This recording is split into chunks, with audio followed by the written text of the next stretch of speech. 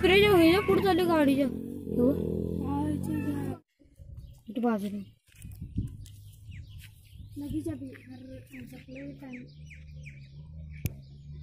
मिनटात यायने अजून मिनटात येते बे का एक मिनिट झालं